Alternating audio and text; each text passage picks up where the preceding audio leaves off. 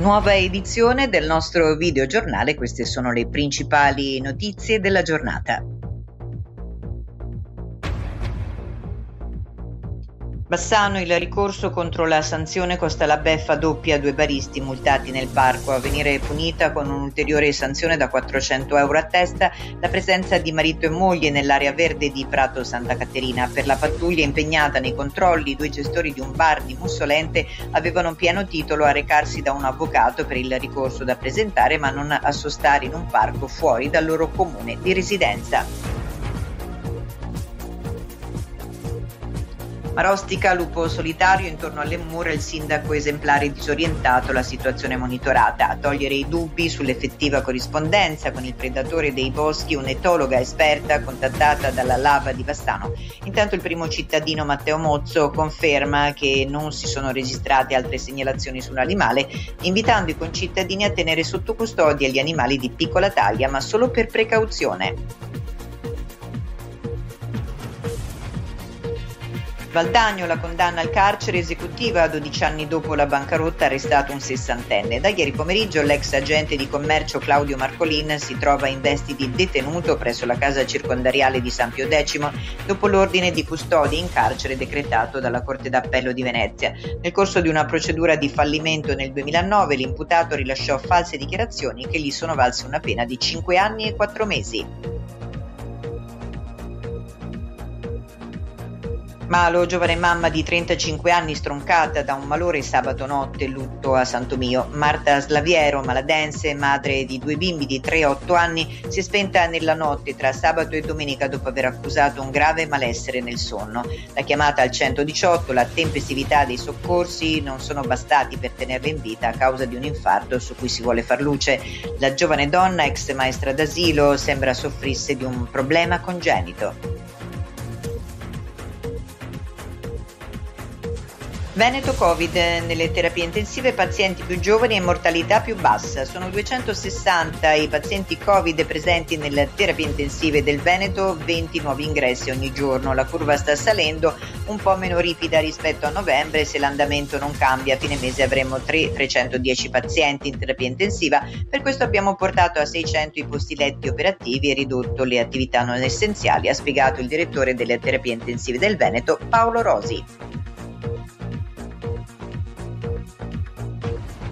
Asiago, ospedale, ripresa l'attività chirurgica, Bramezza, integrazione fra ospedali.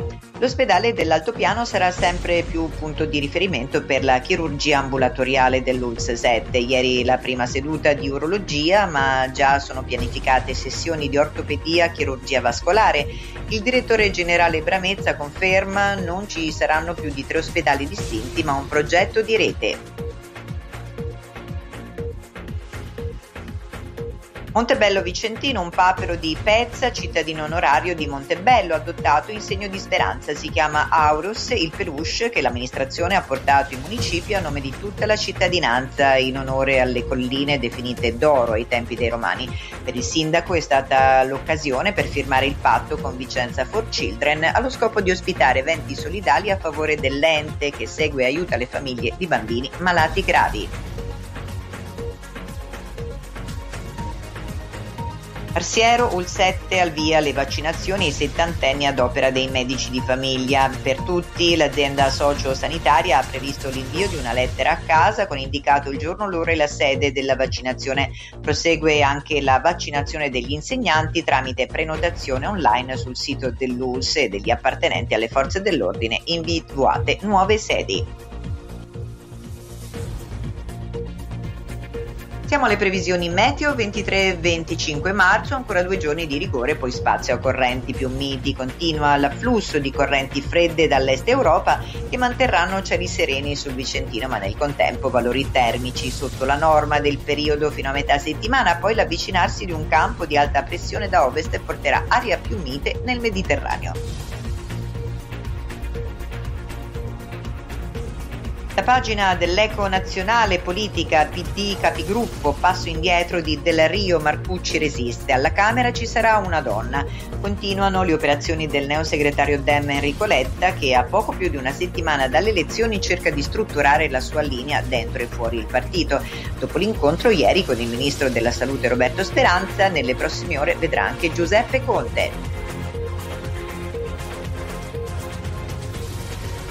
Dall'estero sparatoria in Colorado almeno 10 le vittime, tra cui un poliziotto. Un altro giorno di ordinaria follia negli Stati Uniti dove un uomo ha aperto il fuoco in un supermercato di Boulder in Colorado. Il bilancio è di 10 morti, incluso l'agente, il primo poliziotto ad arrivare sul posto.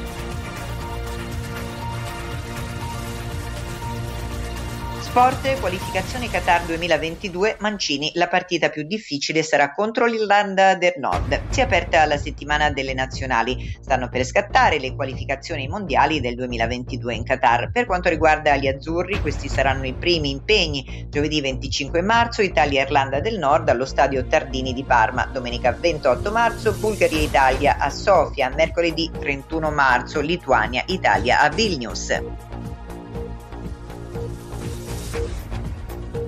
Ed infine il bollettino Covid, 13.846 nuovi positivi, 386 decessi, primi cali nell'RSA. Ultimi dati forniti dal Ministero della Salute. È tutto, grazie dell'attenzione.